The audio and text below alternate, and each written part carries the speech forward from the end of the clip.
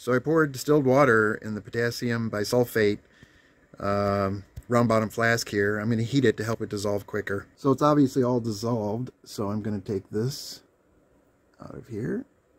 It's quite hot still. And we're going to pour it down here into this Pyrex dish. Be so careful because this is really warm. You have to use, you can see it's steaming. Oh, maybe you can't, but it is steaming. You have to use borosilicate glass, which is what Pyrex is. Uh, otherwise, these sorts of things go awry very quickly.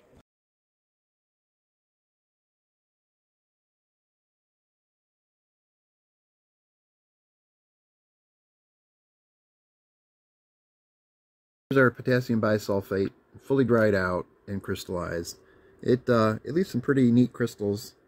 I have some other videos here I'll show you. So the potassium bisulfate has completely dried out and after a couple of days of sitting, it has formed these tufts of crystals all around this pan here. Um, and this is a couple days after it completely had dried, so it's interesting.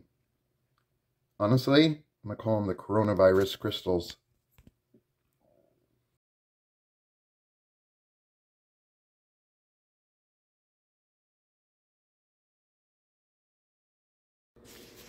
These are the uh, rather spiky crystals of something called potassium bisulfate.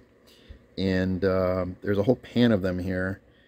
Uh, it's in a glass Pyrex dish, but uh, this came as uh, the result of making nitric acid. This is the end product.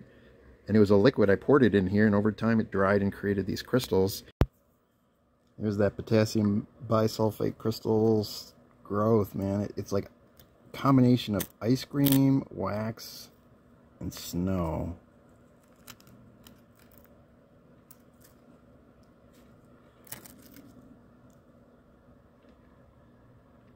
Just weird.